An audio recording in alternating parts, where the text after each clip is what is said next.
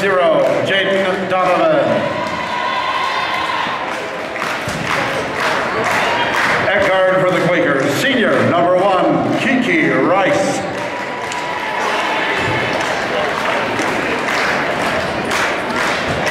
Eckard, junior, number